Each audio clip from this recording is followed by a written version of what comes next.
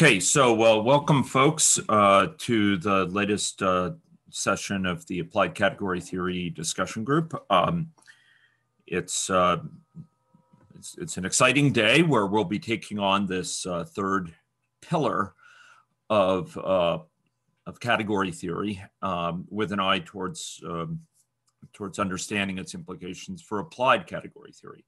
The third pillar, of course, um, builds on uh, the ones we've already covered, the, the two earlier pillars, uh, categories and functors, the structure preserving mappings between categories. Uh, and today we'll be, be talking about natural transformations, which you can see uh, as structure preserving mappings between functors. Uh, this emphasis um, stays true to the, to the general weight that category theory places uh, not just on, on pieces, but on, on connections between the pieces um, uh, with a, a, centrality of understanding interconnections um, uh, that, that lies throughout category theory. And uh, natural transformations um, provide another example of this, um, where we uh, where we use them to to reason about the relationship between the connections between uh, one functor and another. Um, I did ask you to review uh, three uh, videos uh, prior to this session, and we'll be drawing on uh, some intuitions that were um, foundationally put into place by those videos. but um, I'm going to uh, try to use this session uh, to weave together themes that that uh, are otherwise uh, captured in, in fragmented way across those videos, um, but also to to hammer home some of the um, the direct relevance of this to um, to programming and functional programming in particular, um, with a set of examples, not not just relying on on one, um, to which we made use uh, last time, um, the example of Safehead, but really going through a set of them that I, I hope will be collectively enough to kind of um, give you a feel for um, the role that, that natural plant transformations play um, uh, and, and how, it, how it generalizes to a wide number of cases.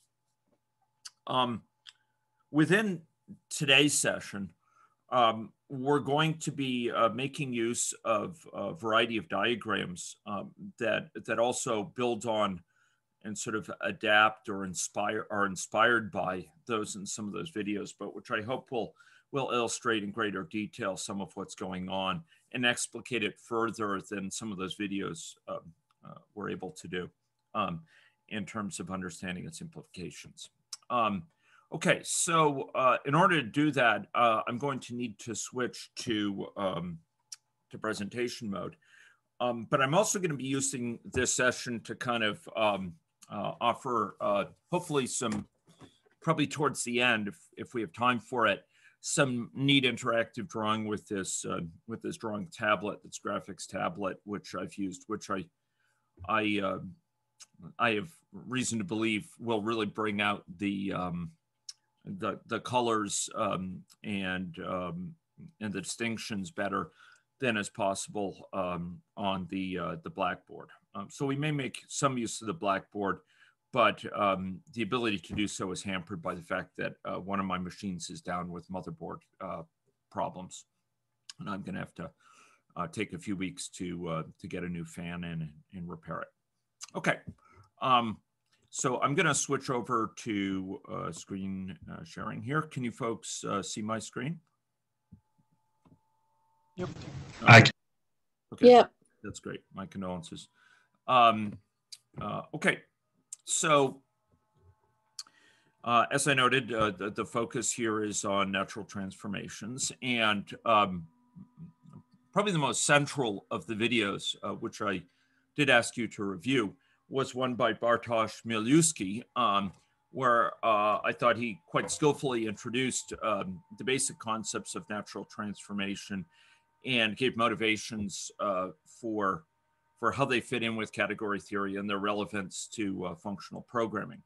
Um, and I, I want to go back to this diagram um, because uh, it is foundational and it will provide uh, the basis for many elaborations of this diagram um, that, that will illustrate uh, particular applications of this process uh, with, with different, um, uh, different functors, um, different pairs of functors.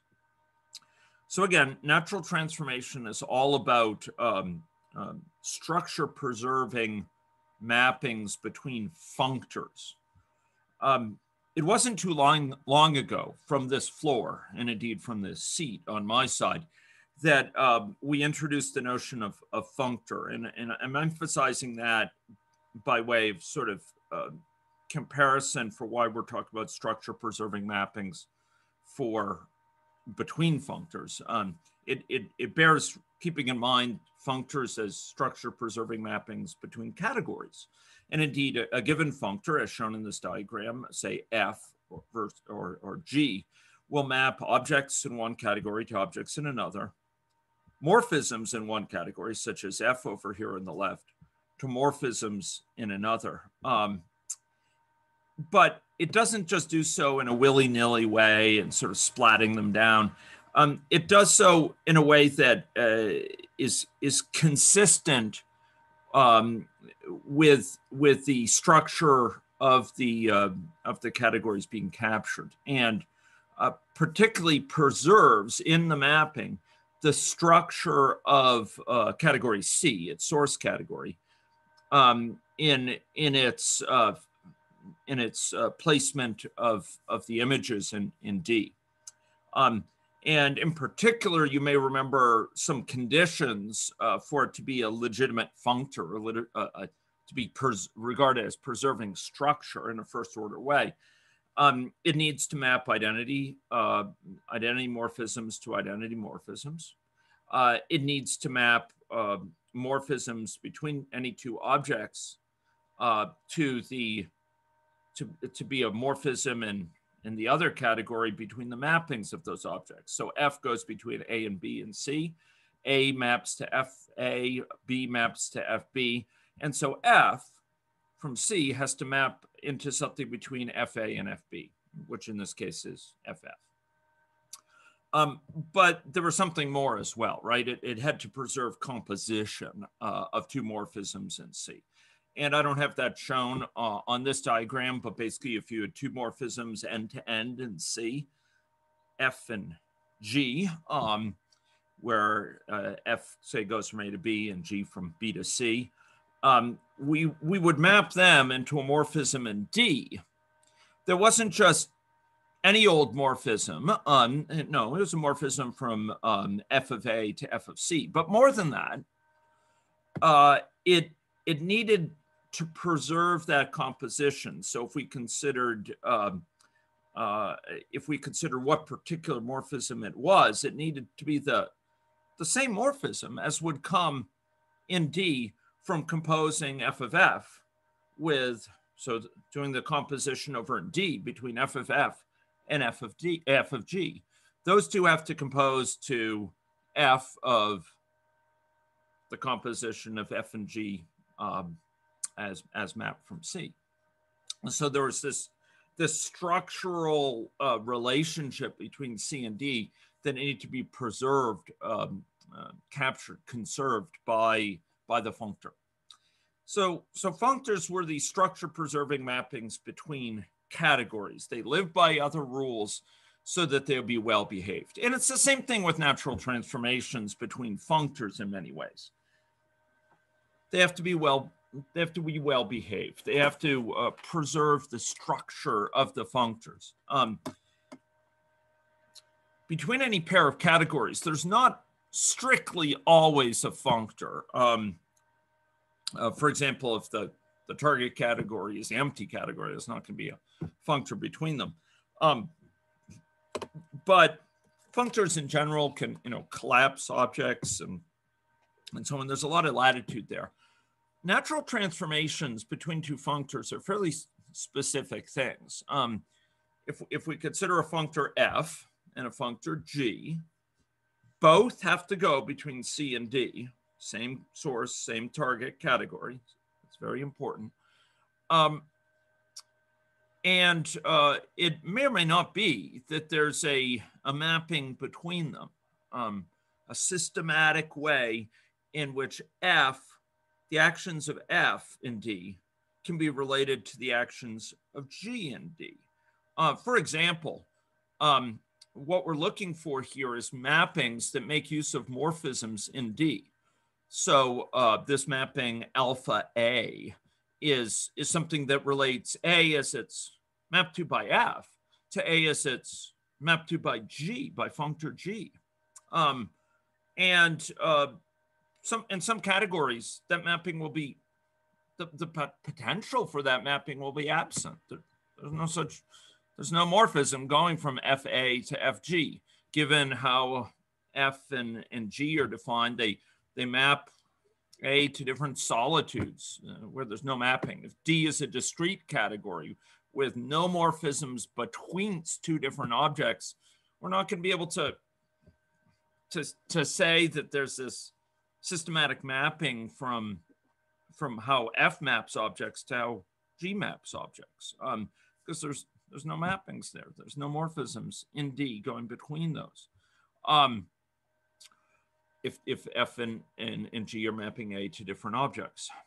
Um, so, so uh, bear in mind, uh, natural transformations aren't a given. And in fact, um, the existence of a natural transformation between functor F and G, and it is a directional thing. It's a question, can we, can we um, map F into G in a way that's natural? Um, it has a certain directionality applied to it. Um, uh, that that implies that in some sense uh, G is similar to F. It, it has a similar action that it performs, but it may not be the same thing. It may not be isomorphic. There are fascinating cases of natural isomorphisms, but it it, it may collapse things. For example, uh, uh G may sponge a bunch of things together that are otherwise mapped to by different objects and, and, and, and mapped to different objects and, and, and F. Um, uh, and, uh, and so, for example, um, uh, a given morphism F might map uh, A, B, C, D, E here over into, uh, into objects here in this kind of, we could think of it as kind of where F maps at this upper plane that are all distinct. Whereas G um, uh, has a somewhat cruder rendition. It collapses D and E into the same object in um, in its embedding, as it were, of the source category and the target category.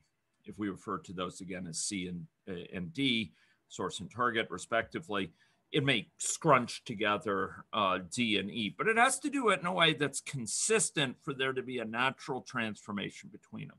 And if we if we look here, the natural transformations are seen as kind of these these morphisms, these arrows that go between the planes. Um, this again being inspired by uh, Bartosz Milewski's um, uh, diagrams, which which make use of that metaphor.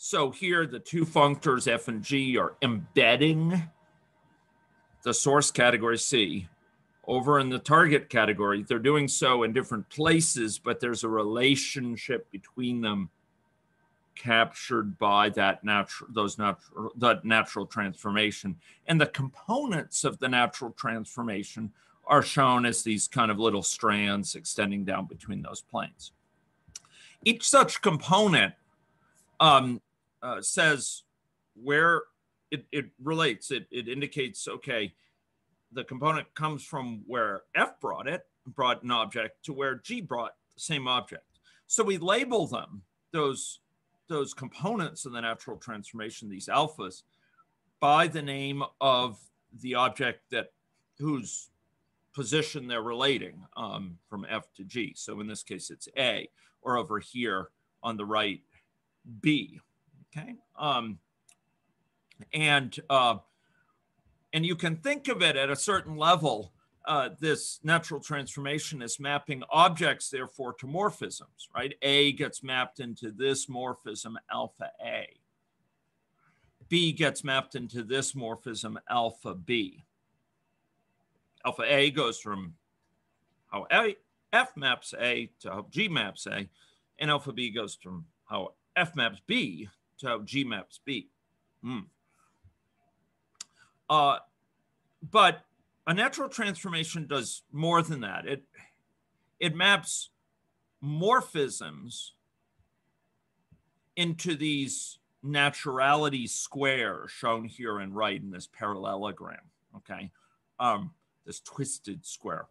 Um, so, so here F is is not just mapped to one morphism; it's, it's mapped to this whole twisted square on the right. Um, so, uh, in that twisted square, for it to be natural, has to commute, meaning that if we consider any two ways from getting from FA up here in the upper left to GB down here in the lower right, um, we have to get the same function um, either way. So if we compose FF going along this upper part with alpha B down the, the, the right, we have to have the same function in D, the exact same mapping from FA to, to GB has to be induced as if we had gone instead alpha A first and then GF second. Okay. Um, and for those who were with us last time, you know, we used the example of, of safe head, right? Safe head here is the polymorphic function. It's a it's a function parameterized by type. So you can think of it as subscripted by the type. That's the alpha here. Um, its job in life is to translate a list of whatever, say int, into a maybe of that same whatever int. Um, so it goes, uh, each object here represents a type, and in that polymorphic function maps um, here list of int into um, into maybe int. F might be something that maps ints to bools, like is negative, and and uh, and it's going to, and so uh, the the mapping alpha b here would be so fb would be like a list of bool.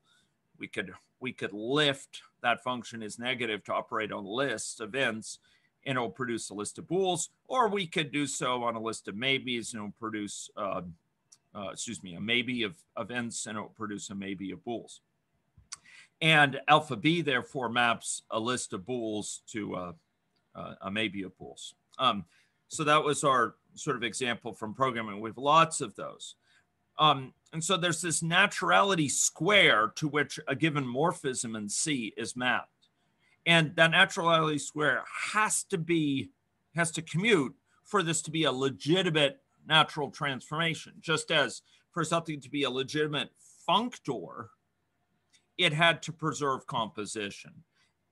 If the functor is f, f of uh, call, call the functor capital F, capital F of of the composition of, of any two morphisms, lowercase f and lowercase g and c has to has to equal um, over in D the the composition of uh, f capital F of lowercase f um, composed with uh, capital F of g. Um, that was the criteria to be a functor. Here we have a criteria to be a natural transformation. Um, we have to we have to have these naturality squares commute um, in order for it to be a natural transformation. And I want to emphasize something that I didn't emphasize enough last time, and then I think some of the the commentators could do well to to better emphasize. To wit, um, this has to hold.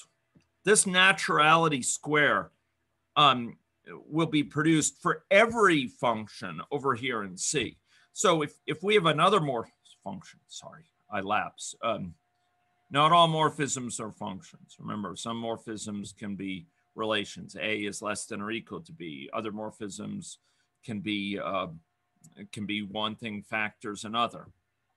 So, but if there's multiple morphisms over in C, say not only F but G, we're going to have a naturality square for each of them, right? So G is going to be mapped by F, by functor F over into into this morphism between, as is the rule for a functor, FA and FB. And G is going to be mapped by functor capital G into this morphism between GA and GB. Hmm? And that induces another naturality square going FA, FG to FB, going along the top curvy part of this right, um, this right diagram, and then down via alpha B has to yield the same exact function to going from FA through alpha A down to GA, and then that curvy part of the lower transect uh, GG over to GB. Um, those have to be, that has to commute as well. So it's not just that, you know, we have this naturality condition for one F, we have to do it for all the morphisms over here in C, because after all, all of them have to be mapped into D. And all of them, each and every one is responsible for producing something um, that's a naturality square that commutes. In short, this is a pretty strong condition. Uh, if there's lots of morphisms over here in C, it gives us lots of choices for what alpha A could be and alpha B going between, you know, FA and GA or going between FB to GB. But we also have lots of naturality squares we have to make sure commute.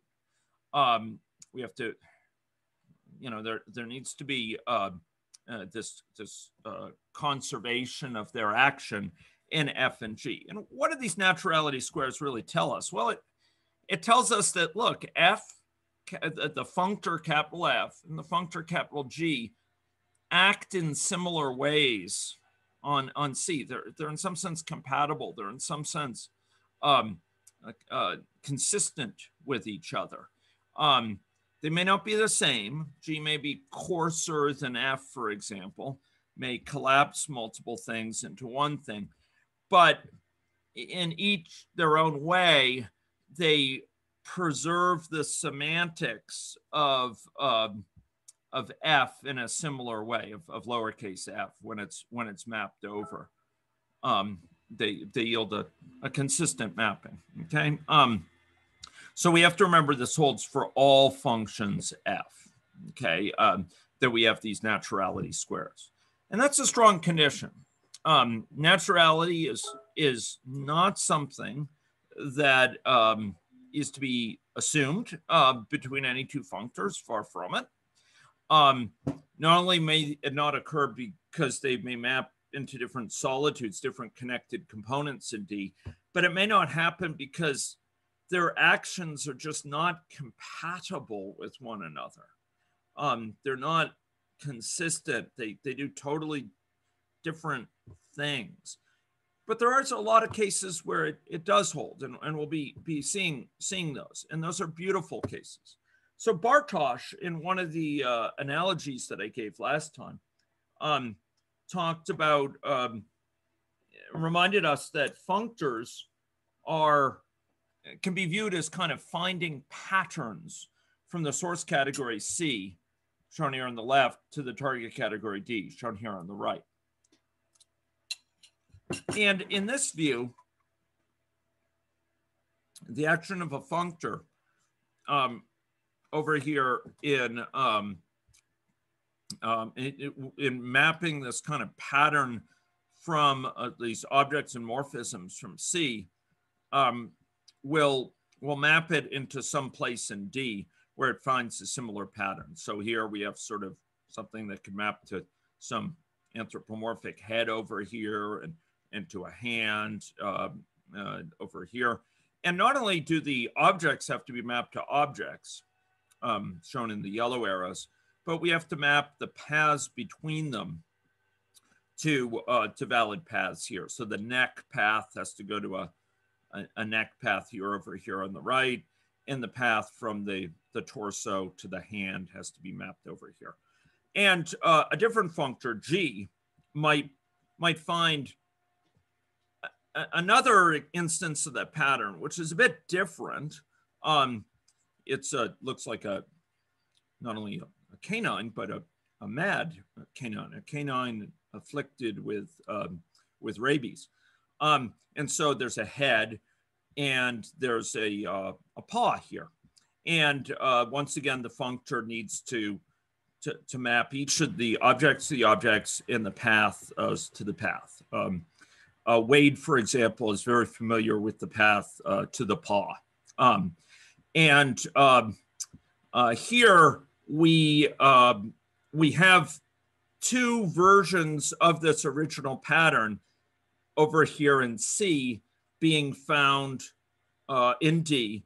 And a natural transformation would relate those two. It would say the head goes to the head.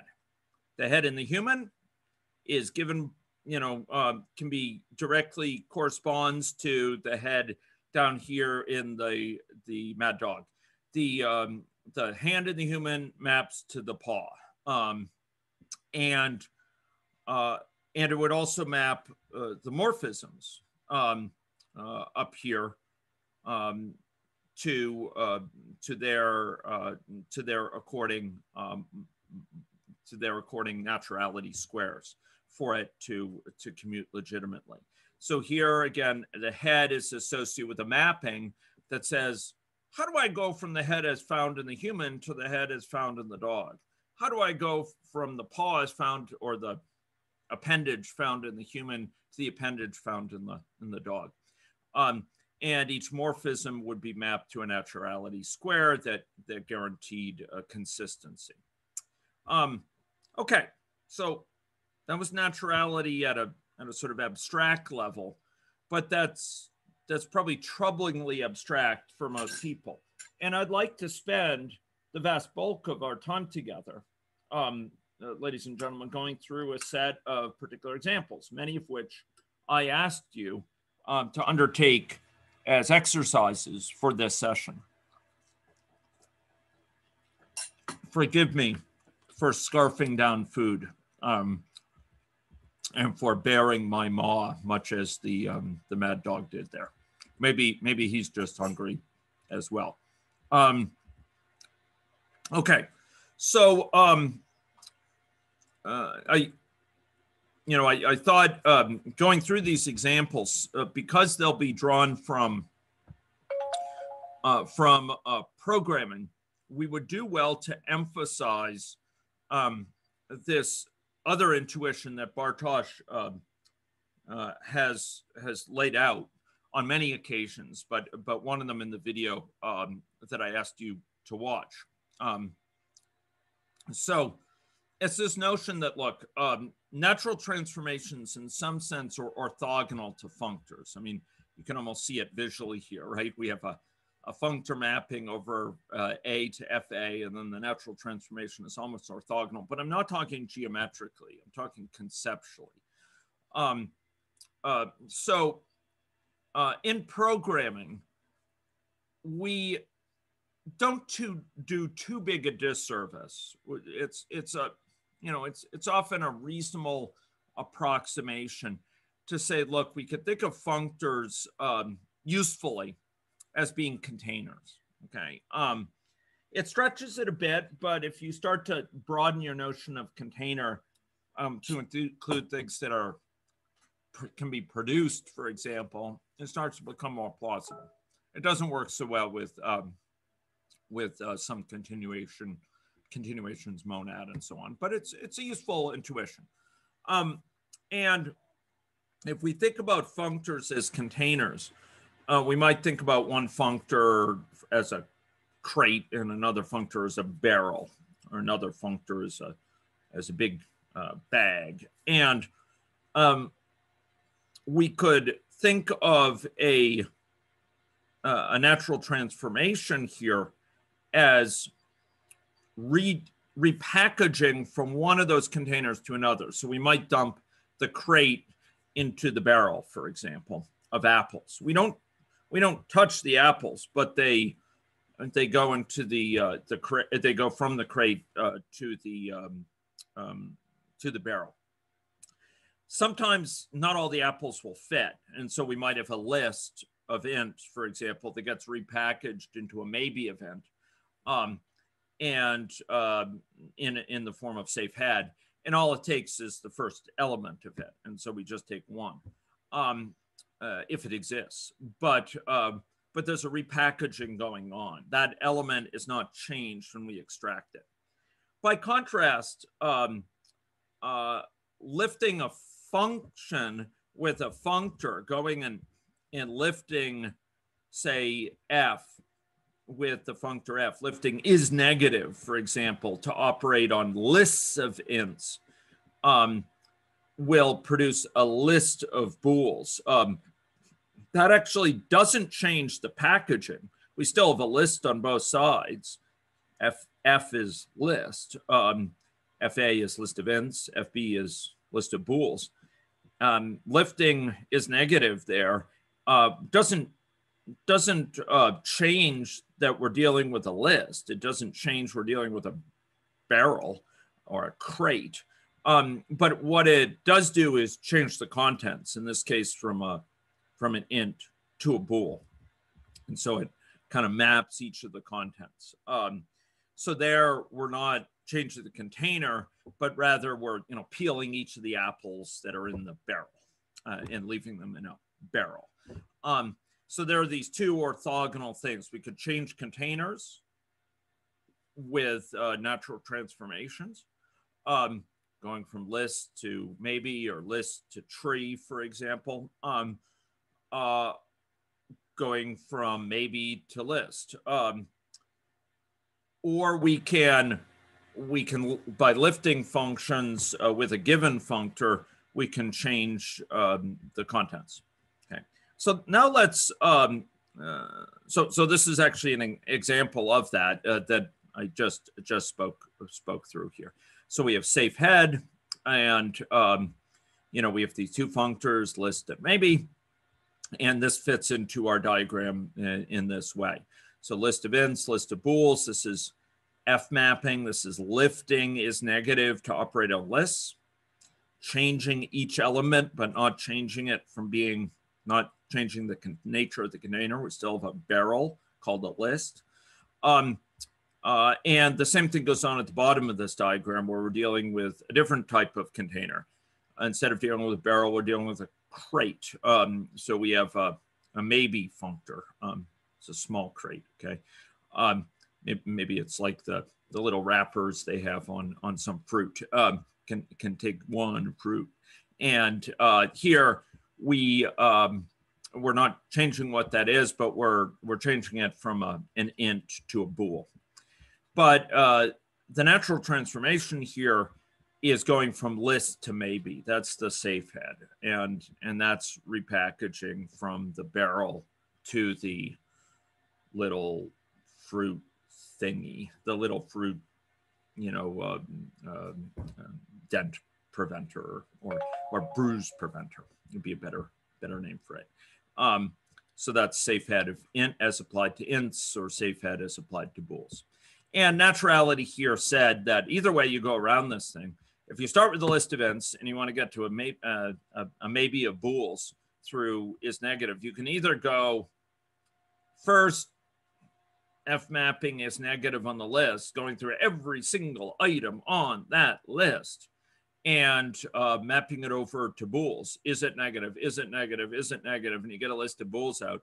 And then you just take the first one, safe head, if there is one, if there is. And if there isn't, it's nothing.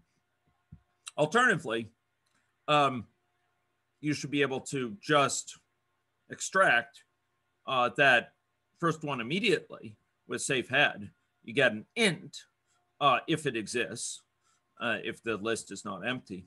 And, um, and then uh, having got that maybe event, you could lift is negative on that maybe event and get a maybe a bool. And that way saves much more work, right? It, it saves a lot of work if that list were long and we're not in a lazy language.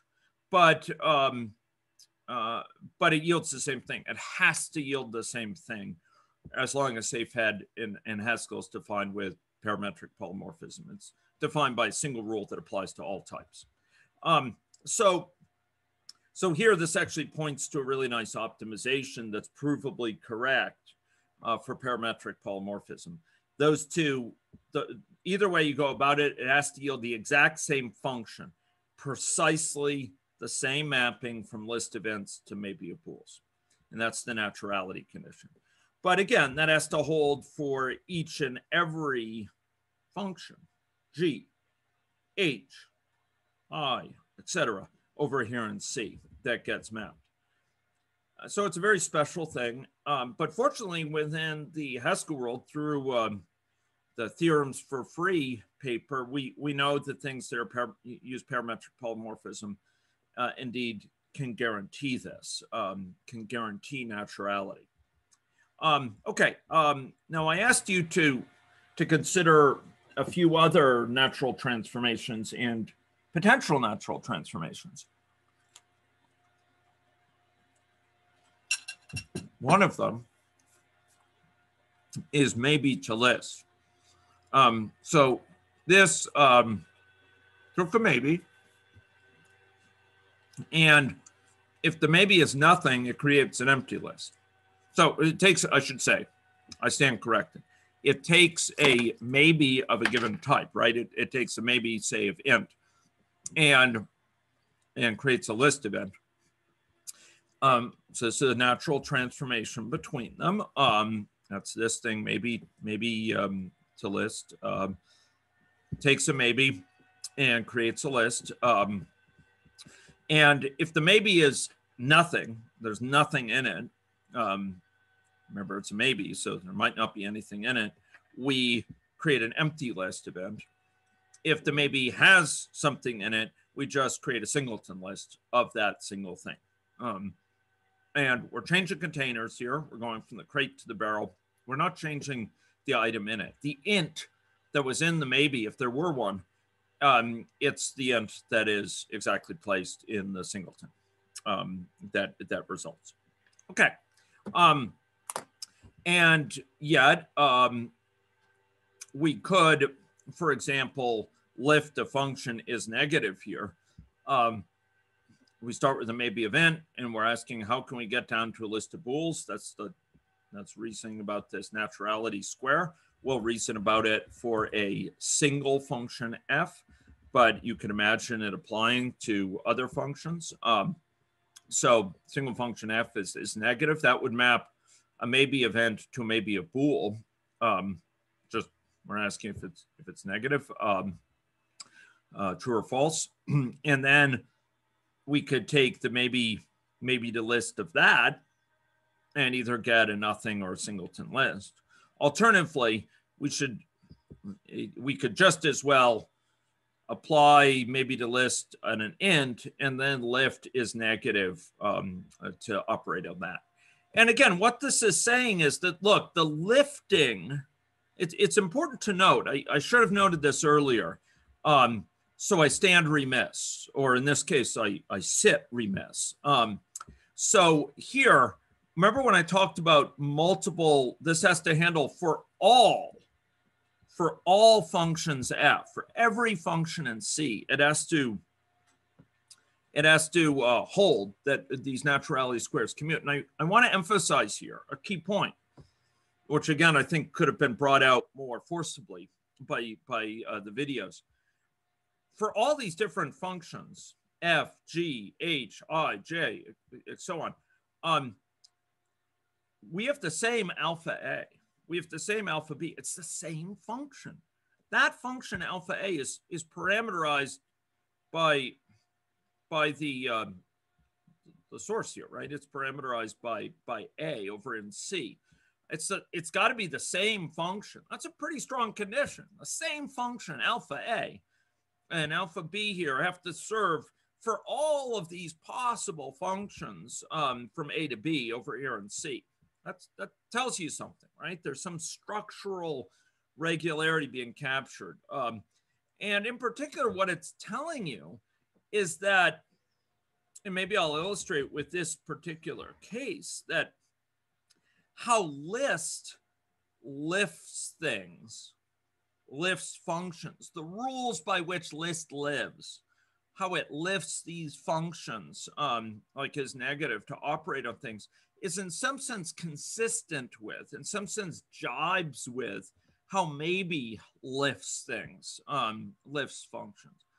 They're not, you know, defining fmap in some sort of totally discombobulated ad hoc, um, willy-nilly way. They're they're they're defining in a way that's consistent and and so maybe may not be a list uh, but it's um, it behaves in ways that are that that are um, consistent with with lists when you map a function over it on a maybe um, it yields something that's somehow structurally consistent with how lifting that same function um, and lists operates. And so you're guaranteed, no matter what function, this could be as negative, it could be as positive, it could be as perfect square, it could be, you know, as prime or what, whatever. Um, um, and we'd still be dealing with ints and bools. Uh, but because list and maybe have this fundamental kind of similarity in, in, in how they lift things and their F map um, that defines them as a functor, um, you get this nice natural transformation between them that holds indeed for all of these different functions. Um, and that tells you something, you know, deep about um, uh, about this um, uh, about the nature uh, of the relationship between list and and and maybe. Um, and it's a similar thing going the other direction, right? List to maybe and maybe to list in this case. It's it's uh, it's quite nice. They're they play nicely.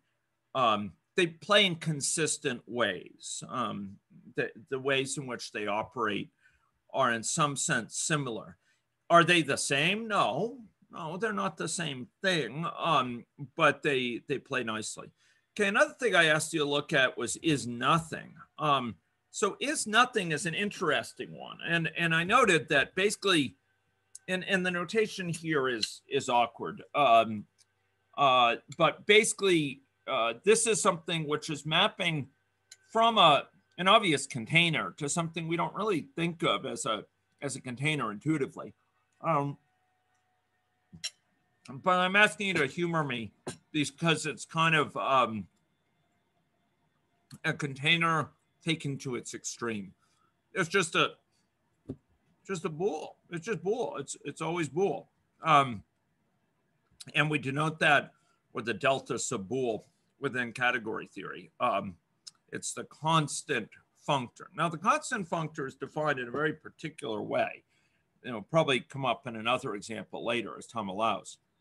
Um, constant functor is a functor that ignores um, well, Okay, I won't get, get into that. You could say it ignores its type argument, but it maps to a very particular type, which is indicated here as bool. I wrote it as an argument, but I shouldn't should put it as a subscript. Now, um, remember, a functor maps um, objects to objects, and it maps morphisms to morphisms. Um, so, yeah, question? Is there a question? Did someone say something? No, I thought I don't I, think so.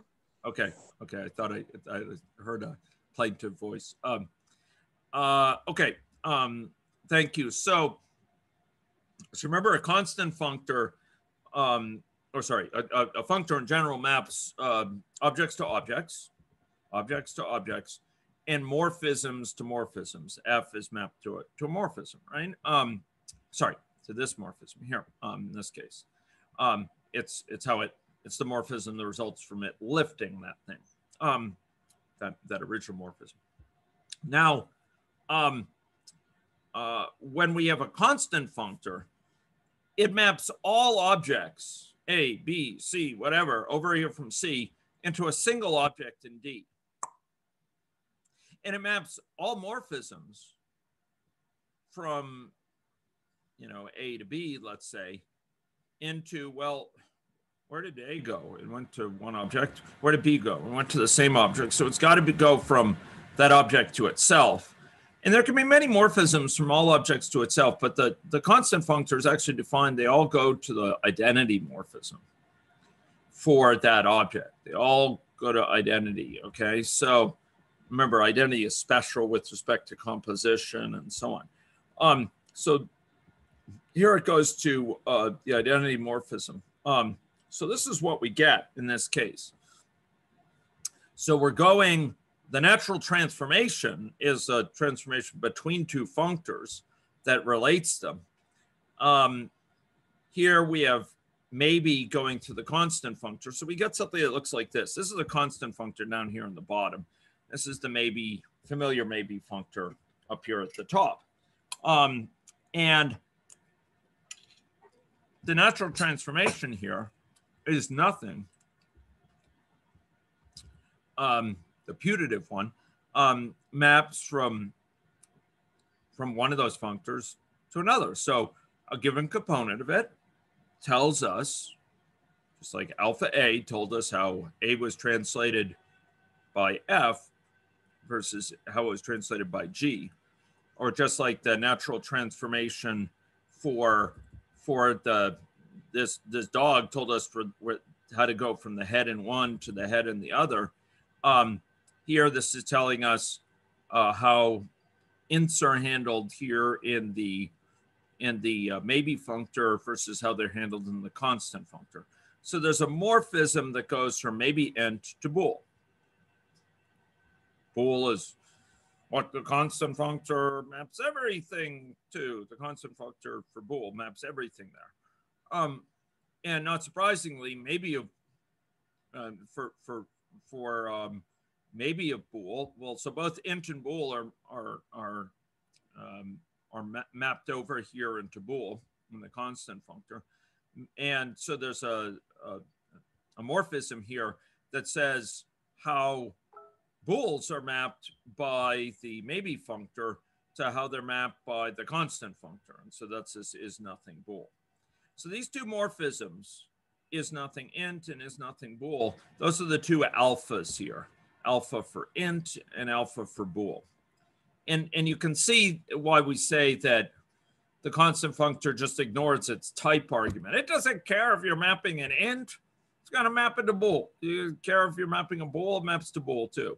If you mapped a double, it would map into bool. If you mapped a, a hash table, it would map into bool. Um, so this is our constant functor, and uh, and we have these uh, these not components of the natural transformation here, but we have something more than this. Um, we have we have a mapping, remember, uh, uh, of this uh, morphism. This is negative morphism. Uh, and you may be excused for asking, um, okay, I told you before, morphisms, natural transformations map objects onto morphisms. And you can kind of see that there's a morphism for int, there's a morphism for bool here. But I told you that it maps functions or excuse me, I lapse again, morphisms in C into naturality squares. Where's the square? Well, the square has become, ladies and gentlemen, degenerate. It has degenerated into a triangle. Um, it is, you know, its bottom, its bottom, whatever you call it, chord, its bottom component, its bottom line got shrunk, and so now it's a triangle. Um, it would go bool to bool to bool, but we don't draw it as a different object. So, so here we have um, a naturality triangle, which has to be satisfied. If you go around uh, the the two different ways of going from maybe int to bool, you go through is nothing on a maybe int, or you f map is negative um, uh, on that and and then and then you go uh, and ask is it nothing you should get the same thing um, so you know in this case it's it's basically saying look if it's nothing whatever you map it's going to yield nothing too. And so of course it's going to be the same same thing. If you if you go around the two sides um, regardless of how you map it um, uh, fmap these different functions from int to bool, they're all going to preserve nothing as nothing and things that are not are not nothing elements. You know, some some x is going to be preserved as uh, where x is an int is going to be preserved as some x where x is a bool.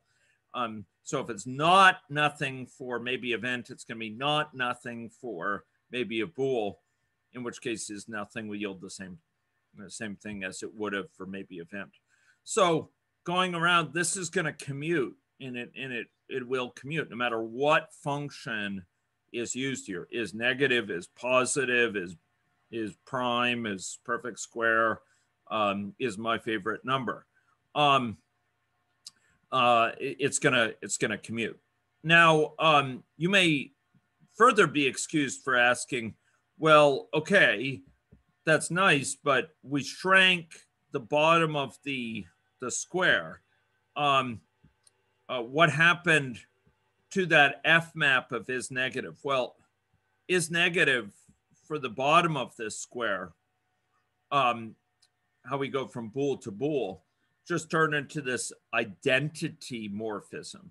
So whatever answer we get out, it's it's the same same thing. It doesn't doesn't change. If it was to put it another way, if it was if it was nothing for maybe event, it's going to be nothing for maybe a bool. It doesn't change that.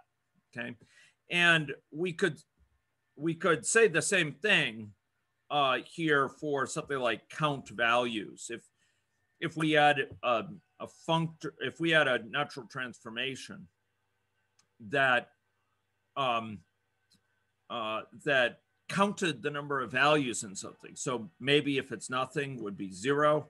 If maybe has an element in it, it will be one. Um, uh, and for list, it would count the length of the list, um, the number of values in the list, zero if it's empty, one, two, three. Um, we can imagine that as a natural transformation. And it's very similar, right? We we have maybe event and, and, and constant functor. Um, and uh, and you know either either way we we go about it, it's going to have the same number of elements. And we could have used as a different functor, not maybe event, but list event, and we would have had the same commuting triangle. Because fundamentally, if we have a maybe event, it's going to have the same number of elements. And when it's maybe a bool, that results from lifting some function from int to bool. If we lift a function from int to bool, to apply to a maybe event and get a maybe a bool, it's going to preserve the number of elements. Nothing will still be a nothing. Something that's some, some, something will be something a bool. And so the number of elements will be preserved. If this were list instead of maybe, we'd also be preserving it. We're not changing the length of the list by lifting something over it. So that will be natural as well. Um, and I hope you're you're getting a bit of a of a feel for this. Why it it has to be the case um, for for you know how this is is guaranteed. Um, sometimes there are the, these deep structural similarities between how things are are handled. The semantics of FMAP don't allow it to change whether or not the maybe held to nothing or an element. It doesn't allow it to change the length of a list. Um, the semantics of fmap for, for maybe, um, semantics of fmap for list.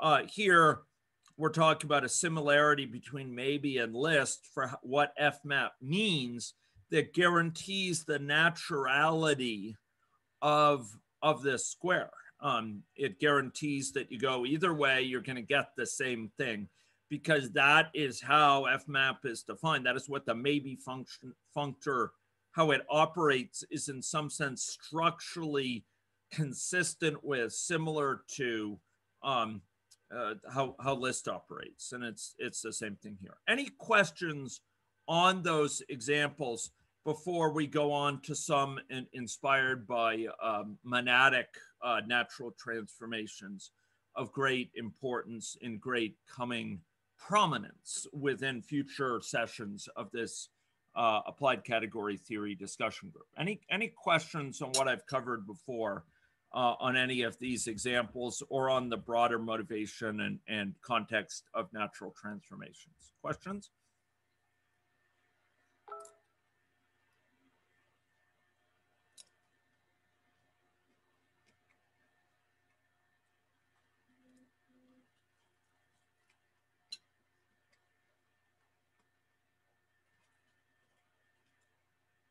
I'm told that the rule of thumb for remote presentations like this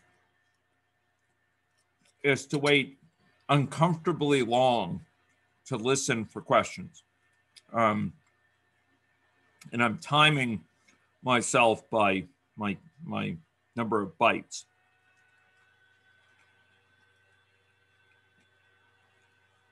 Not B Y T E S, but B I T E S. Okay, we want to see that dog well fed. Okay. Hearing no no questions, we'll we'll continue here. Um, okay. Um, I asked you to to additionally think about a set of natural transformations, which some of you might have recognized, but not all, as inspired by monadic operations. Okay. Um, and uh, as we'll see, these operations get to the heart of what it means to be a monad. They have to do with the fact that there's two key natural transformations involved in a monad. And those natural transformations are then involved in, in what are called the monad laws, um, which uh, ensure that a monad is, is genuinely a monad. Uh, now, the two natural transformations have a deeper meaning. And while I may allude to that, um, it will only be in a hand wavy way here. We'll, we'll cover them later. Um, the first of the, the of these um, is is this natural transformation traditionally called mu. Um, where mu stands for multiply, although I think in German. Um, and this takes a given, in this case, it's a monad uh, as well, um, but could, it's also a functor. All monads are functors. So it's a functor of a functor. So monad of a monad, list of list of x, and it maps it to a list of x. Um, or it takes a maybe of maybe of x and maps it to a maybe of x. Um, it flattens it. And for lists, this is, is commonly called a flatten. More generally, for monads, it's often called join. Um, and it turns out that um, if you think back to our covering coverage of monoids, where a monoid was a single element category where each possible element of, of the monoid um, um, was illustrated with a with a, a morphism.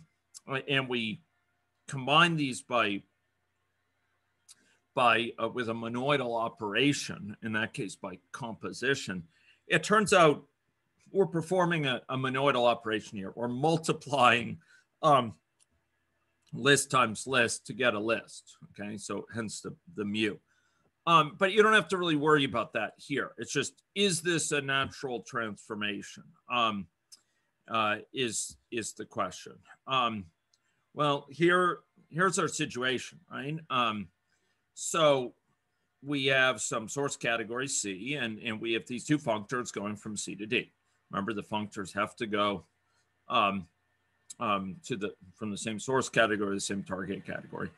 Uh, in this case, we really talk about them being endofunctors because they are um, they're from Hask into Hask.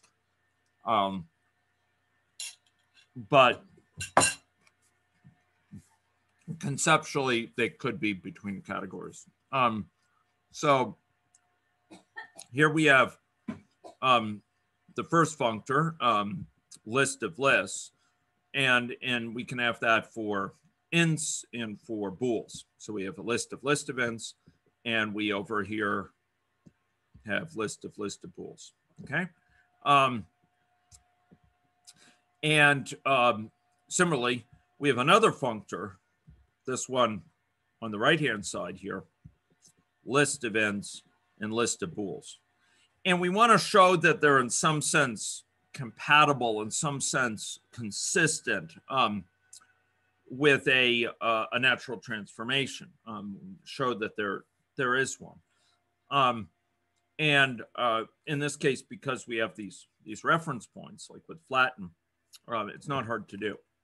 Okay. Um, uh, so uh, the way in which we show they're consistent is by showing this mapping between them. Um, and for each object in C, we have this mapping corresponding to that object in C. So for int, we have this mapping, which takes the first functor to the second functor, takes list of list of ints into list of ints.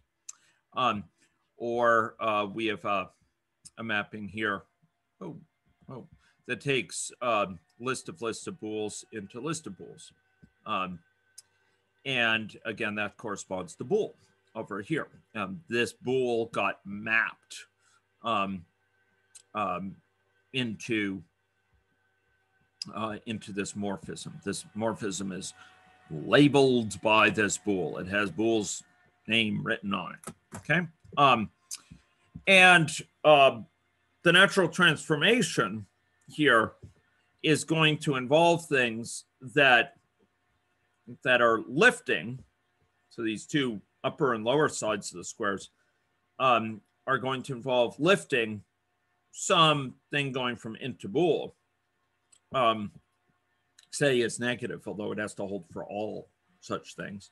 Say is negative again, um, which uh, is going to go from a list of list events uh, to a to a list of bools. Okay, um, and the idea here is we're going to apply this. So if we have a list of list events, we'll go through and we'll apply it to the to you know the the lowest level elements, um, which are kind of two levels down.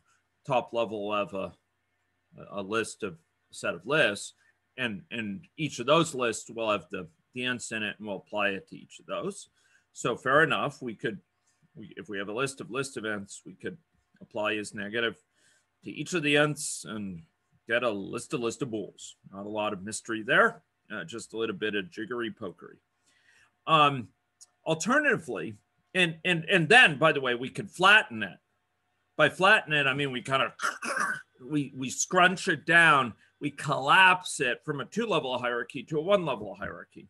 Um, we just take all those bools down here um, at the bottom level and we put them into one big list. We concatenate all the lists in that list of list events of bools into a, a list of bools. Okay, it's, it's all one big list of bools. Um, just concatenate them in order, um, append them in order. Um, and that's what that flatten does. Okay, uh, we could imagine doing that. Uh, alternatively, we could have flattened it as a list of list of ints up front, we get a big list of ints. And then we could have mapped as negative over those, right? Um, now, uh, and, and I would um, submit to you, I would uh, argue to you that those, either way you go, along the top and down the right is going to yield the same thing as down the left and, and along the bottom.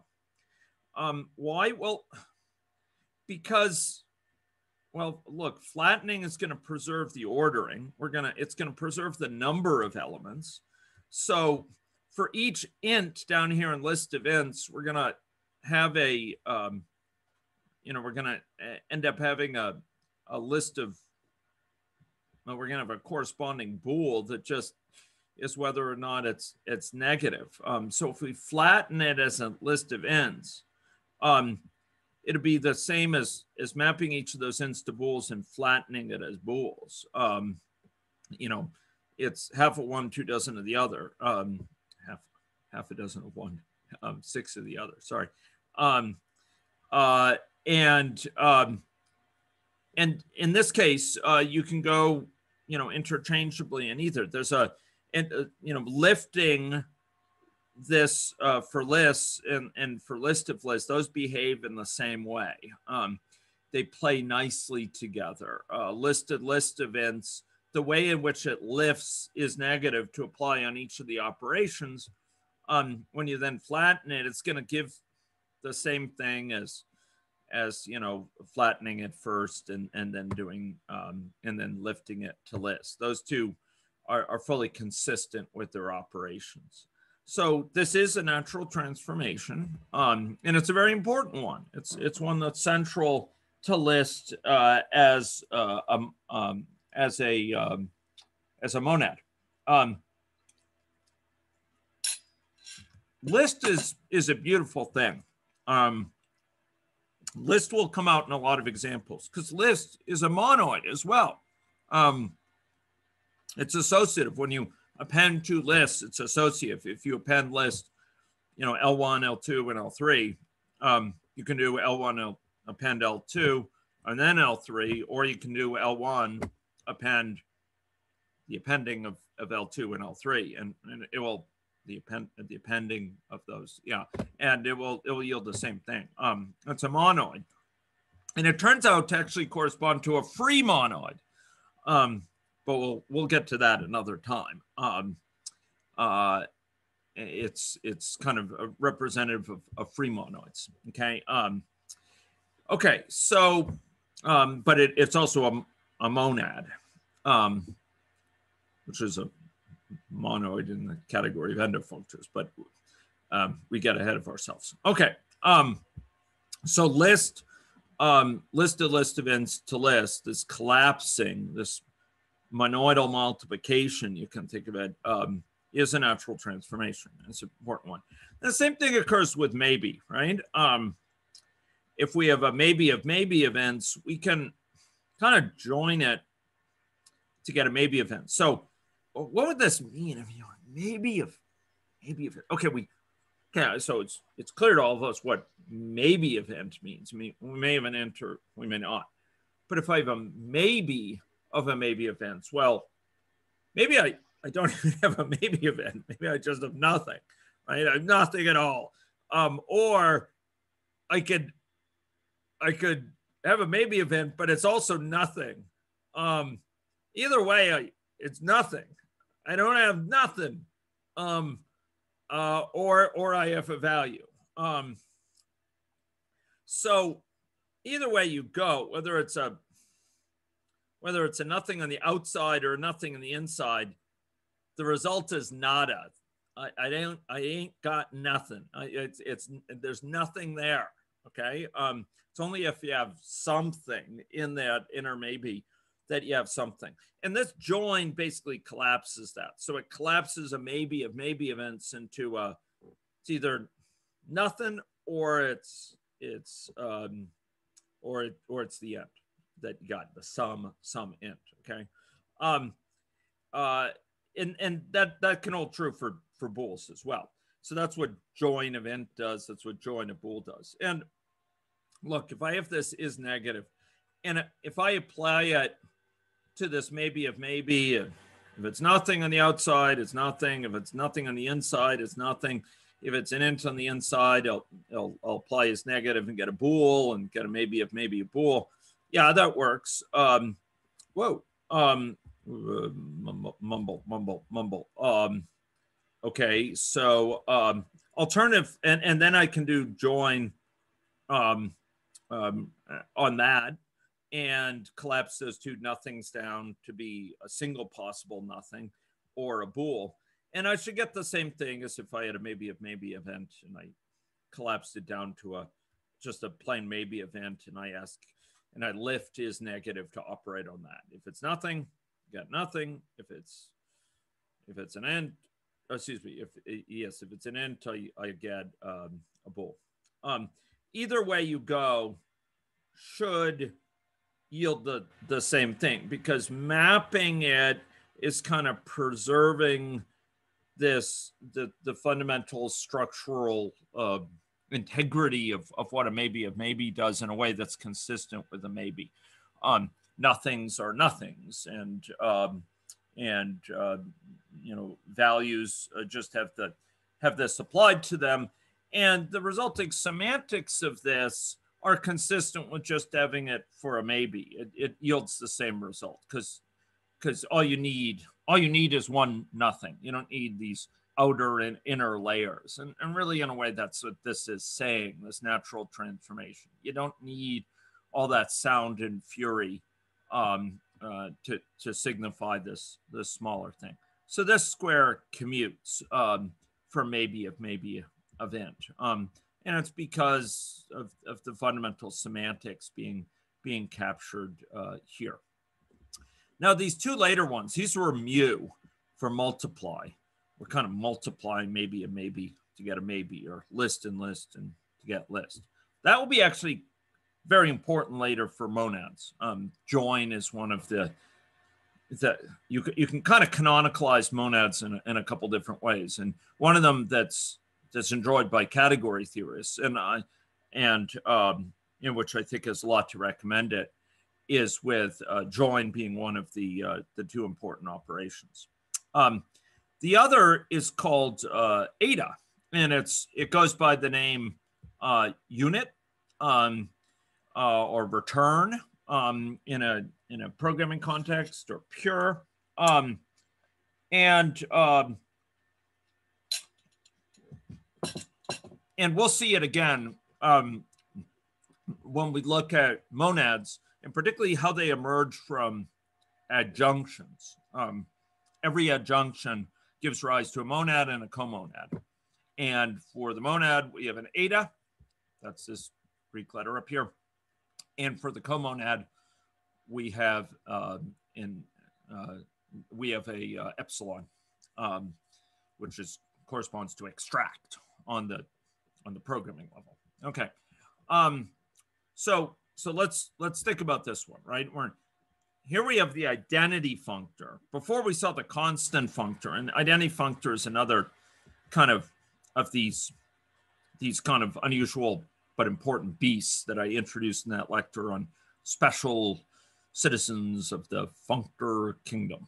Um, some some lecture or some lectures ago, meetings ago. Um, so the identity functor um, uh, just uh, maps um, uh, mumble uh, yeah the, the identity functor um, uh, is is something that simply maps um, when when we so it's a functor from C to D and it maps each object over here in C to the same same object uh, in C, which is written as D here, but again, I said this is really mapping back to C. It just gets very visually confusing if you show it. It's an endofunctor. It, it maps from Hask to Hask. So int is mapped to int.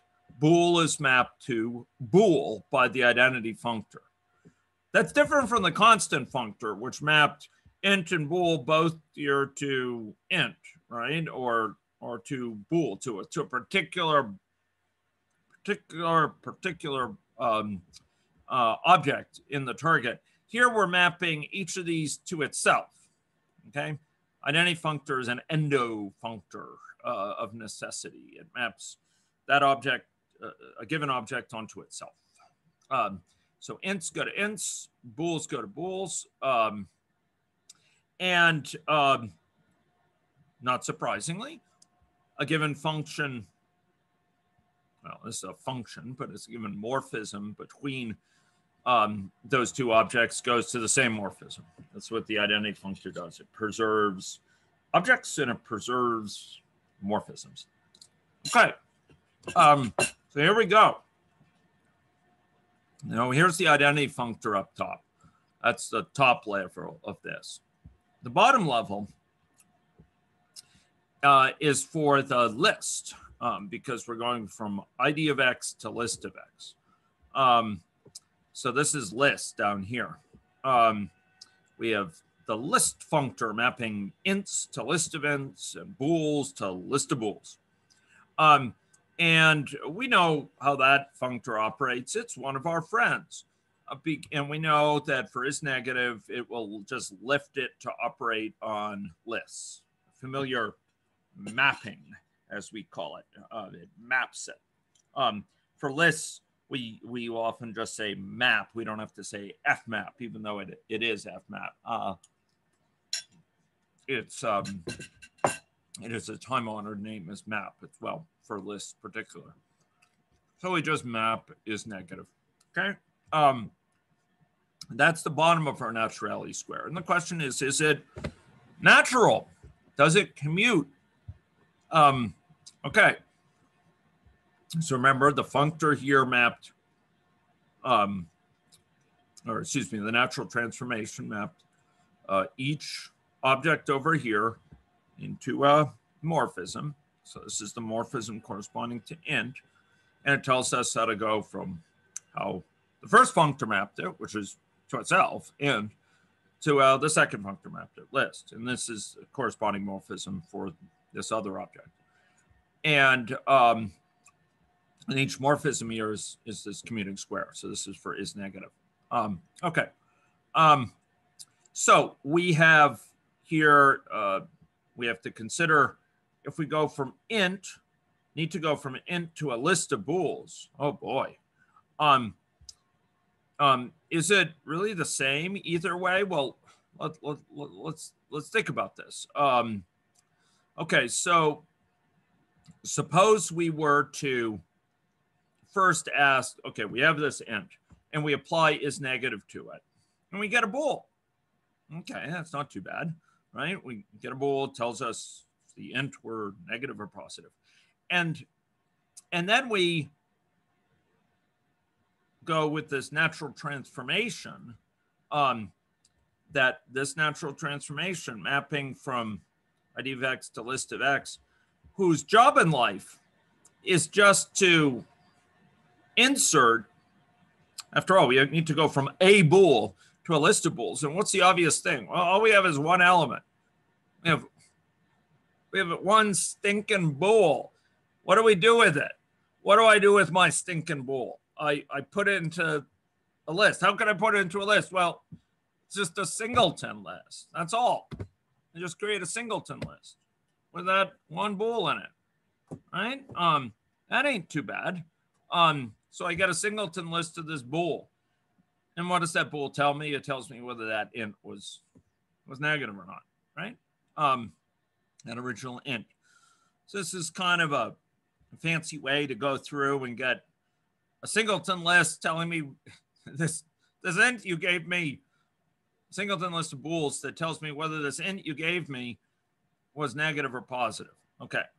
A little bit contrived, but but okay. But now let's consider the other way. The alternative is we could take that int and uh, we could put it into a list of ints, a singleton list of ints. Okay, so it's just a, a singleton in there. That's all we can do with the int. Where else am I going to put it? I'm going to, yeah, okay, sure. I'll stick it, stick it in this, this, this list, right? Um, um, and suppose then I were to, to uh, map over that list is negative um, well, it's to, if this int, it's the only thing in it, and my map is negative over, it's to give me a, a list of bools because I have a list of ints. So it can give me a list of bools. And the, the only bool in that list is going to be the one that results from asking is negative, the only int in that list over, oh, over, over here, which is the only one that came from there. So yeah, of course it's got to commute. Yeah. it, it's this original int it just pops up here and it's classified down here, or it's classified up here and we stick it in the list. Either way, we got to get the same thing out. I mean, it should be fairly obvious to you.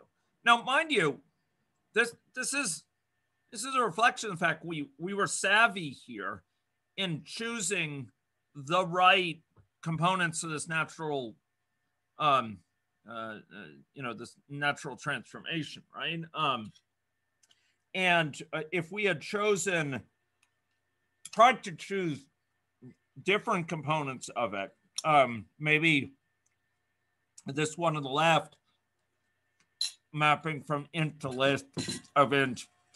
This is just one of many functions that can go from int to list events. Maybe we'll leave this one as it is, but this one on the right for bools will we'll say, oh, we'll special case it for bools. And for bools, it will insert three elements. Um, three, you know, if we get a given bool, true, we'll insert, we'll create a list with three truths in a, in a row, a list of length three. Well, that would be pretty funky, right? Uh, it, it just wouldn't be consistent. Um, that wouldn't be a valid natural transformation. Um, um, so, um, so that that would be problematic as a natural transformation. Um, and uh, and so you see, th- the fact that this is a natural transformation came about by choosing um, consistent mappings here. Is this the only natural transformation between these? Um, could there be other natural transformations that would also um, uh, also you know make this natural? Well, I put that out to the uh, to the assembled people here. Um, could you imagine a different function here, um, uh, other than the the singleton one? The one that makes an infinite list. Sorry. The one that makes an infinite list. Yeah, same thing. Could make an infinite list. That's right. Yeah, um, that would be that would be consistent, right? Um, and that would that that would allow this to commute for is negative. Um, now, uh, there's a question: Is there a whole family of these? You know, um, if we pick the one for example, which had three, it inserted three of them, um, or two of them, um, would that be consistent um, for all possible Fs? Uh, is negative, um, you know, is positive, is prime, you know, all different ways of going from ints to bools. Would that still be consistent? Um, it's not obvious to me that it wouldn't be. Um, I'll, I'll leave it to you to think about. I haven't thought about it till now, but I, I think actually it would probably work. Yeah. It's just uh, with monads, this is um, going to be a very, very uh, particular uh, one that's involved for a specific monad. I think I think actually there there could be a, a whole family of, of possible natural transformations that would be internally consistent um, if if someone could come up with a, a counterexample, for example, why duplicating it three times instead of one time wouldn't work, um, I'd welcome.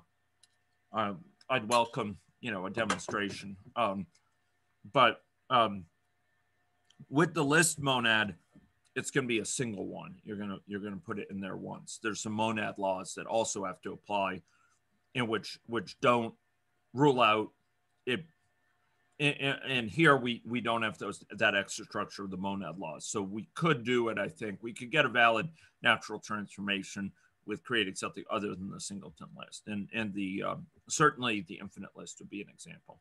Um, uh, okay so similarly with with maybe um, uh, here here we have identity functor up here. This is eta for maybe this is, um, so this is the maybe functor level. This is the identity functor level. And we've got these natural transformations between them, um, which simply insert into the maybe with some S-O-M-E. Um, so, you know, we, we um, if we start with an int and we want a maybe a bool, we can either apply is negative and we have a given function here is negative, we can either apply that function to get a bool and then put it into the maybe, or we can say, we'll start with a maybe event and we'll lift that function to operate on the maybe.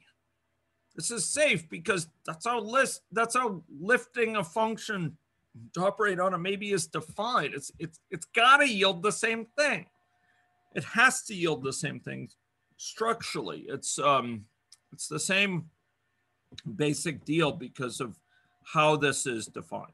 Okay, um, um, this this lifting.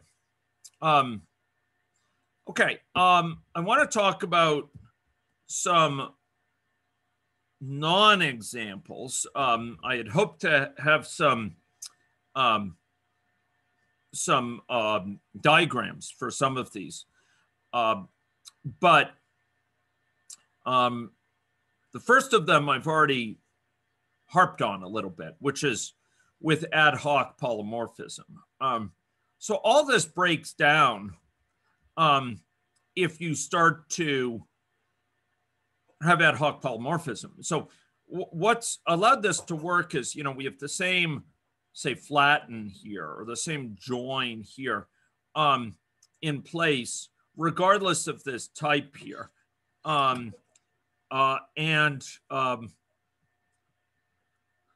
sorry, my wife was trying to take my breakfast. Um, uh, and um, I, I'm desirous of finishing it at some point. Um, so uh, uh, here we we have um, we have basically the, the same rule applying join for bools and join for ints. If you started to to have you know a different wacko rule for one of those. You know, maybe you say for bools we'll define the mapping of maybe to maybe a bool to maybe a bool differently. You know, if um, um, something, if it has an um, an inner, uh, you know, if if it has an outer nothing, we will consider it some of minus one, um, S O M E of minus one. Um, uh, when we when we collapse it down to maybe a bool. Um, but if it has an inner nothing, we'll make it nothing. Um, if you had some whacked out rule like that um, that applies for one of the types, but not for others, um, you're not going to get you're not going to be guaranteed to get a natural transformation out. Um, but uh, here, uh, within within the context of Haskell, if you have something that's defined with parametric polymorphism and not ad hoc polymorphism, this theorems for free results um, stays true, and you're guaranteed to have this uh, this commute, which is, you know, utterly striking for reasons we'll come back to in a in a few minutes. If you start to think about how constrained these these are. I've tried to motivate like why it makes sense that there's that, that it's natural that you just want it to be the case that this is the case it, it's and it and why it works so nicely with programming but uh, it's a very strong result that we can depend on it i mean that's that's really um, desirable the, the example that I gave you though was representation size. And this, this gets into this issue of kind of ad hoc versus rule-based polymorphism. And the idea here was, look, um, suppose we map a maybe of X into a constant functor on int. Um, so it might be something like this. Um, but instead of is nothing, it's is represent, excuse me, uh, this one uh, is representation size instead of count values. Count values is is notable because um, no matter what type uh, of values are being summarized in the maybe, or if this were an int, um, or sorry, a list, um, no matter what what type of of elements you have, whether they're ints or bools or doubles or whatever, the count of values is going to be the same. Um, and, uh, and so you get this nice uh, commuting of this.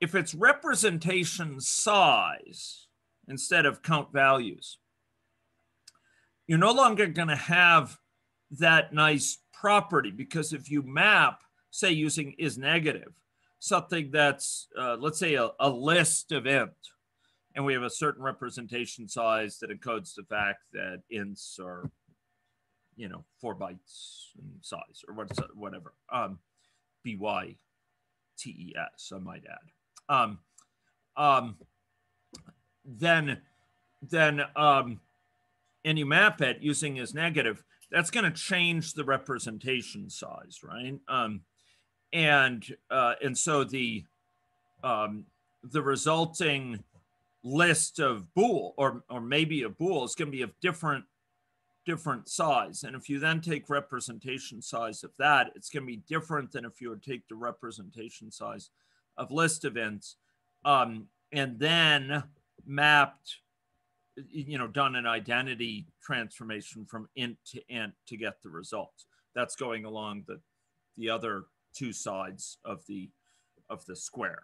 Um, remember the square's been collapsed at the bottom, but, uh, you know, really one's one going along um, uh, one uh, way from maybe int to end will be this way, this way. The other is to go this way and then around via this uh, dotted line, which I, I put it dotted because normally we don't draw it. It's the identity, um, the identity on ints. Here, that's fine because because the count values is the same and identity on ints leaves it the same, and so we're hunky dory. But if this were representation size, we couldn't map it just to identity anymore. Um, because that would suggest the representation size of maybe int is the same as the representation size of um, maybe a bool, which it's not.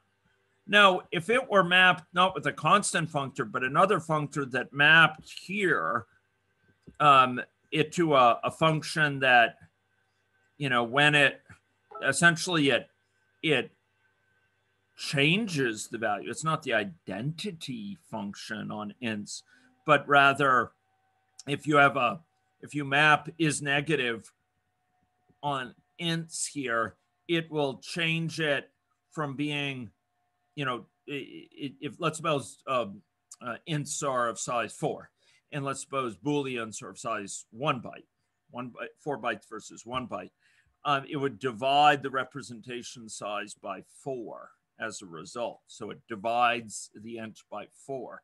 Um, uh, what you get uh, going going this way, it just divides it by four.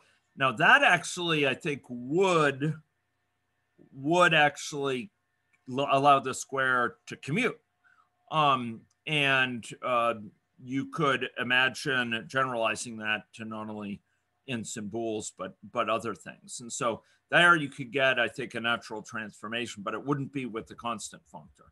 So this is not this is not a natural transformation, but I do think it could work if you were to map to a morphism of integer values uh, around around int. Any comments on that one? That one I thought was an interesting one to think about.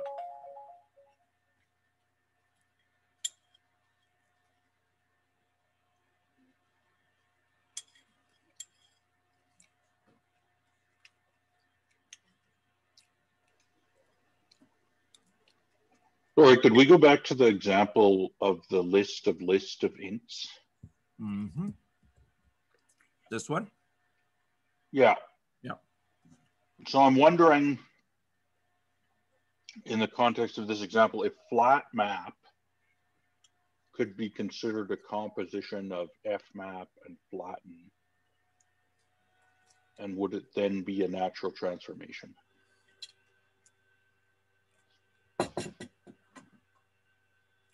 Right. Um, yes. Um, yeah. Or am flat, I mixing up my terms with with well, morphisms? Flat flat map. Um, I'm, I'm having a, a sudden brain seizure here, but um, flat map I think is going to um, is going to essentially compose those is my recollection. Um, um yeah. and flat map is equivalent to bind haskell's bind. Yeah um so so it's going to uh, allow for um for taking in something that uh is going to be a monad um here uh, a list, um, uh, or, or in this case, a, a, list of, of lists. I think you're you're dealing with uh, up here, and uh, apply this this function uh, to it, and um, and and get back uh, a, a, list of of lists. So. uh, I, th- I think that's going to be basically the same, but I, I'm, I'm, I'm not, I'm not very successful in grappling with this right now, but, um, but uh, I, I think that would allow you to, to essentially implement this, uh, this mapping on list of lists. Thank you. Yeah.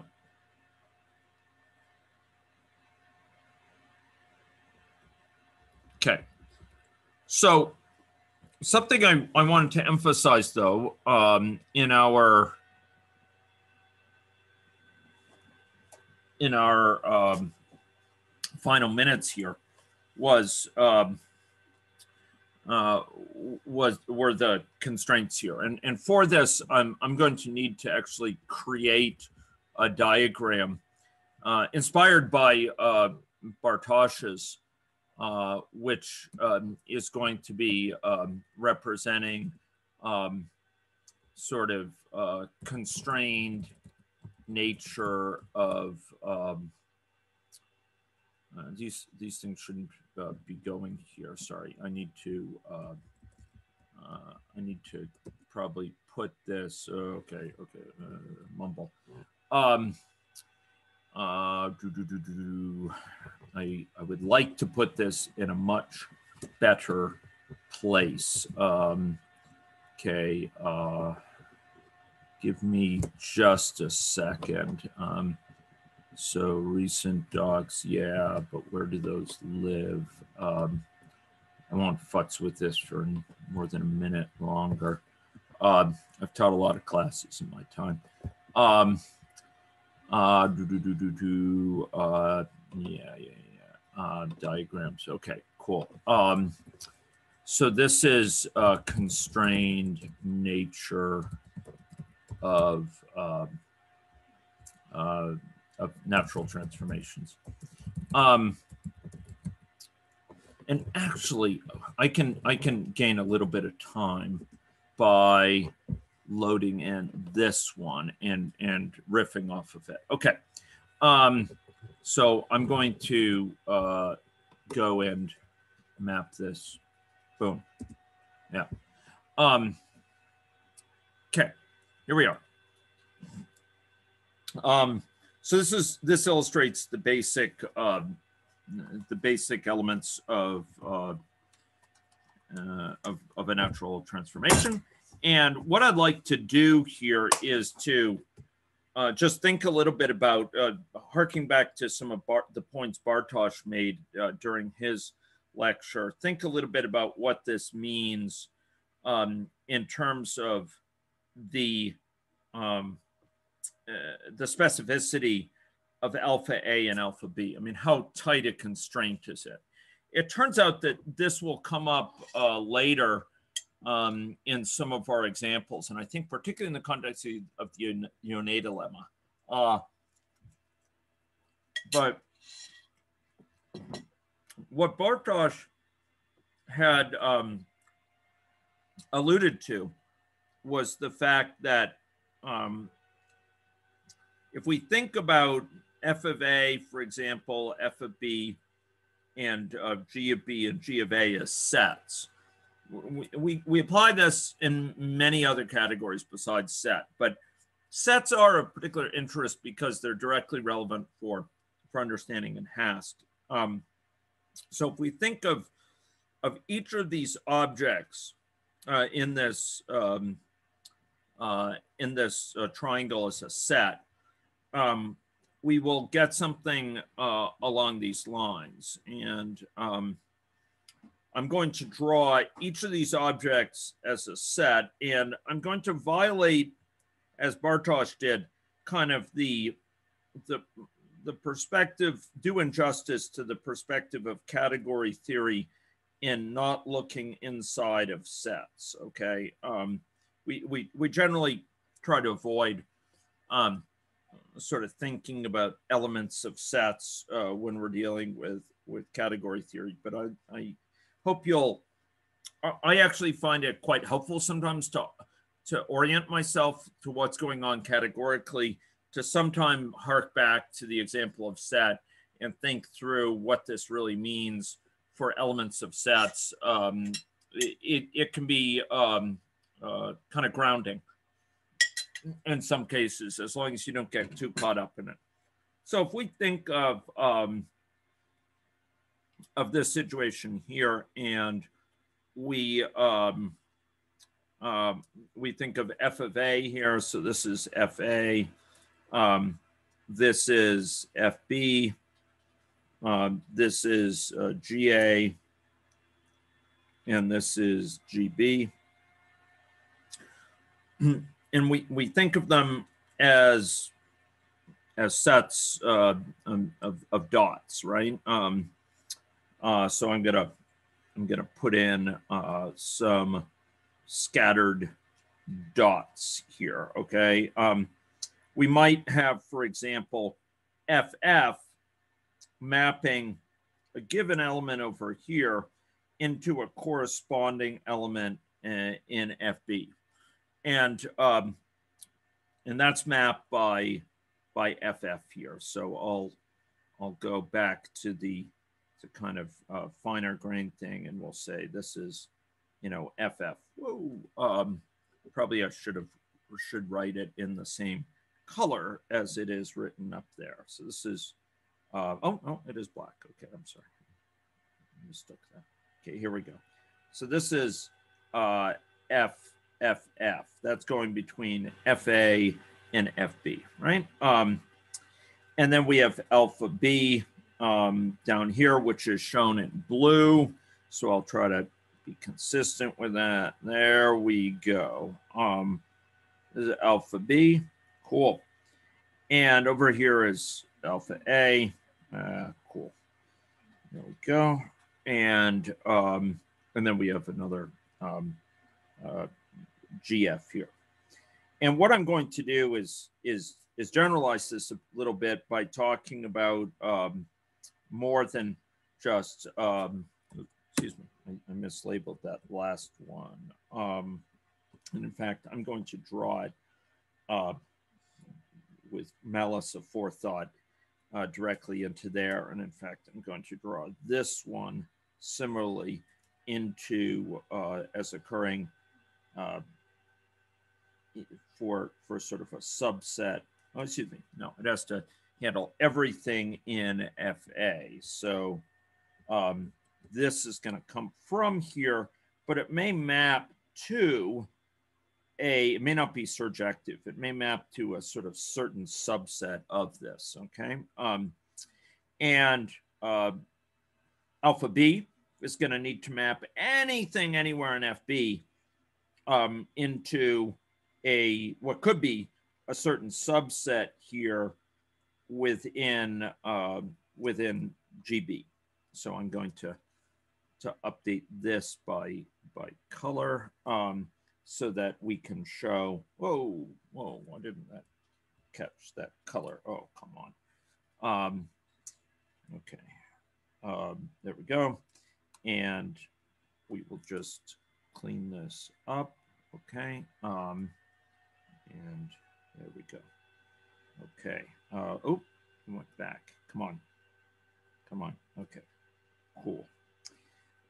Okay, so um, the point is these mappings are functions here because we're in set. So this is, you know, set over here. Um, and and they may not always be surjective. So it has to map anything in the source into something that, that may or may not um, be the complete uh, complete set here. Um, and and so this uh, this green element, which started up here at FA, if we kind of look at where its its image goes, its successive um, mapping, uh, it may end up here, right, through FF and then alpha B.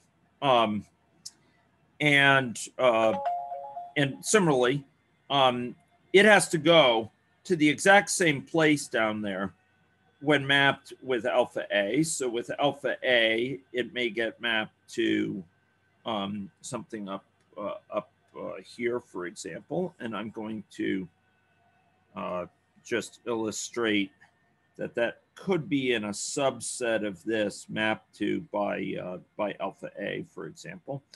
Um, and then uh, GB is going to need to um, to map the entirety of, of GA over into um, some set. So what what naturality is telling us here is that the, the successive mapping of a given element from FA, because because if you go around the um, uh, this naturality square either way, it has to be the same function. What that means is, and that function is going from this set ultimately F here and uh, FA for each and every element of it, it has to match where it gets mapped to in GB. If it's the same function, if uh, if going around the, the top and right of that um, that naturality square yields uh, this uh, this green one to go down to this one uh, in in GB, then the same thing has to be true when it goes down with alpha A and over uh, along the, the bottom with, uh, with GF here. Okay, so I'm just going to say uh, GF. So that's our reminder that this is, uh, this is that mapping. Uh, now, similarly, um, uh, if we had a, a red one, you know, it would need to, it would need to be mapped um, to, to similar places here and similar places uh, here. Um, okay, so so we need, you know, we need either way we go about it, we need to get them mapped to the same final um, final points. Now, you know, one of the things Bartosz commented is um, this doesn't totally constrain alpha B uh, based on alpha A. If we consider what alpha A does, for example, um, alpha B may have some latitude, for example, in, in mapping some items out, out here. Um, so, for example, we might have uh, an item out here, and alpha B wouldn't have its um, uh, have its uh, it have constraints imposed by where by how alpha A mapped uh, this blue thing because uh, it, uh, it it isn't something that is mapped to from FA, and that's true for a given FF. But if we consider the fact that different func uh, different um, um, morphisms over here, let's say let's suppose a morphism, you know G. Uh, it also needs to have a, a, naturality square. And we, we, we showed it earlier, right? That it induces a naturality square of its own. Um, and uh, this is, of course, FG. Um, and this is uh, GG. So we need the same alpha A and alpha B to remain in place for those. Um, so whatever alpha A and alpha B are, you know, their hands are tied. Um, whatever they are has to be able to handle not just FF, but also, you know, uh, not just uh, F, but it has to also be able to handle G and any other number of functions. So if we consider, for example, um, uh, where we might map uh, using, uh, you know, F uh, FG here, maybe we map to a somewhat uh, disjoint uh, component here. And to make the point a little bit more clear, what I'm going to do is to, to just show it as including that, um, uh, that uh, element uh, up here. And I will fix this up to, to include that. Okay. And so now alpha B um, for with respect to G with respect to F, alpha B didn't have a constraint as to how it mapped Mr. Blue here. But with respect to um, uh, F of G, this, this new morphism we're considering, because this has to be a natural transformation that holds for all morphisms over here um, of whatever provenance, um, all these different morphisms, um, we have actually many constraints uh, imposed on alpha A and alpha B. in order for them to be to guarantee the naturality condition across all of those different morphisms over here in C. Um, we need alpha A, A, and alpha B to be, you know, awfully um, strict about how they map things in order to guarantee this this consistency. Um, and uh, so, for example, this uh, this one here, we we have a labeling of this as FG.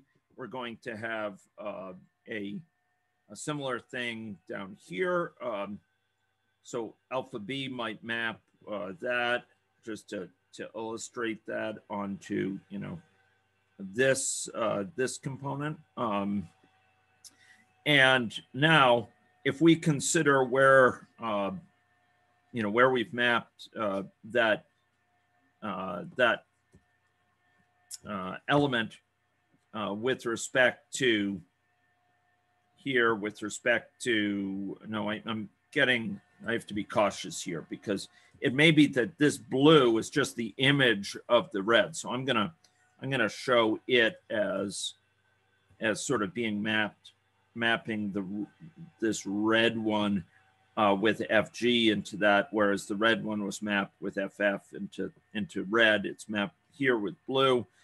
And uh, alpha B maps it um, via alpha B down to oh, uh, down to this one at the bottom um, there.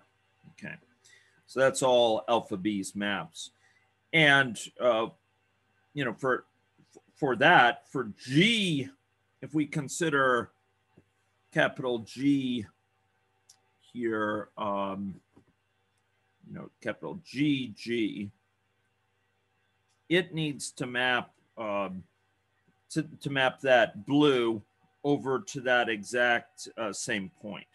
So um, it's going to map uh, alpha A is going to map this red one down to the red one, and uh, with with uh, GG here, it has to map it. Um, and I should probably show that in, in black instead of uh, in, instead of the uh, that same color or show it in in light blue um, which is confusing things a little bit I'll have to to neaten this up but um, this is GG so the point is the the naturality condition needs to hold across all different of these of these morphisms in C and it is true that alpha B for a given morphism F has some latitude because it it doesn't need to worry about anything outside of say this black box up here in, in FG. But once we consider different morphisms, F, G, H, etc., those might have different images in FB, which indeed have to be mapped consistently um, through alpha B in a way that's consistent with how they're mapped by uh, alpha A here and then uh, GG. So in short, there's a pretty stiff constraint here on um, alpha B in terms of what alpha A does. And these have to be quite um, um, quite sort of uh, judiciously chosen in order to have a, a consistency in handling all of the different F's, G's, H's that can be in C. And that's what we saw, you know, informally in our example. Uh, again, I'll have to uh, fix up those colors, but when we were looking earlier here in these examples, you know, it was, it, it, it wasn't an accident that we were able to pull out a natural transformation here that mapped all these. The fact that we had a natural transformation that worked between these functors, maybe and maybe versus maybe, or list and in, in terms of list, or maybe an int, or maybe uh, or maybe in list. This wasn't an accident. The fact that there was a natural transformation that could thread that needle, that could that that had the requisite discipline to map things in the right way that would handle all possible morphisms here within C. Not just is negative, but is positive, is non-negative, is is you know uh, is perfect square, all those sorts of things. Um, that actually was made possible because of the functors involved, maybe in List, being so similar. So naturality is a strong condition. It's a condition which, as the number of morphisms multiply in C, um, it gives us a bit more latitude in what morphisms we choose to use between the functors, but it ties our hands in terms of needing to, to simultaneously match all these naturality squares. And really the only way we're going to do it in many cases is if the two functors involved are in some sense similar. They, they handle things in ways that are consistent. That doesn't mean, again, they're the same. Maybe is different than list. List is different than maybe. Um, they can collapse things in some cases, as we see here for is nothing or count values. That's fine. One functor can collapse things where the other doesn't, but they have to be consistent with each other. They have to model C, category C and category D in a way that uh, is in some sense jibes with each other or is consistent. Um, and this issue of mutual consistency is more is a deeper issue. We're seeing it here in a directed way. You know, could morphism F um, uh, have a natural transformation to G? We're now going to be transitioning starting next time to adjunctions. And adjunctions give us this extra level of power where they allow us to, to reason about this reciprocally and um, in a way that's mutual, where we have F and G and we talk about them being consistent with each other um, in ways that, uh, that guarantee certain structural preservation. And natural transformations will be at the heart and center of it. So, what you've learned now caps you know these these three fundamental concepts. And you're you're moving now to the status of a journey person um, who uh, who has you know a knowledge of categories functors and natural transformations enough that you can now uh, engage uh, in in a wide variety of of uh, really interesting applications of category theories. And natural trans and excuse me, adjunctions will be the first we'll be turning to.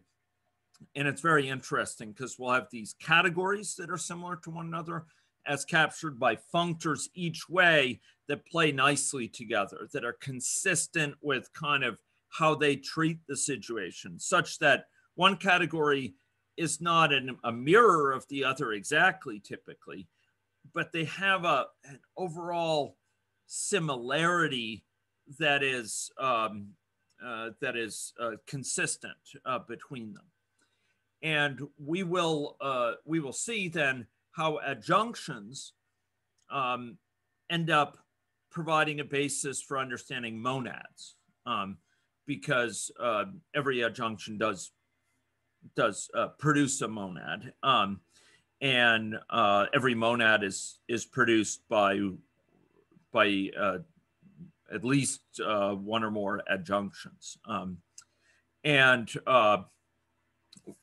therefore they're going to provide a gateway to monads as well. Uh, adjunctions also provide uh, some fascinating opportunities within the modeling space.